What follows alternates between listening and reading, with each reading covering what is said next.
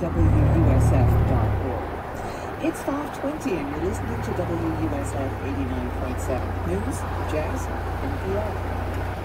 Support for NPR comes from this station and from Hulu, presenting the original documentary I Am Greta, a portrait of teenage fire exclusively in theaters.